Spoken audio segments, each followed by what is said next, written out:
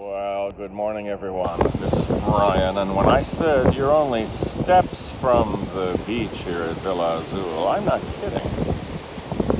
Here we are at sunrise. Can't seem to get enough of these beautiful sunrises. Just a few early people running on the beach this morning.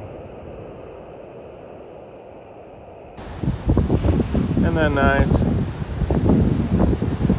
Well,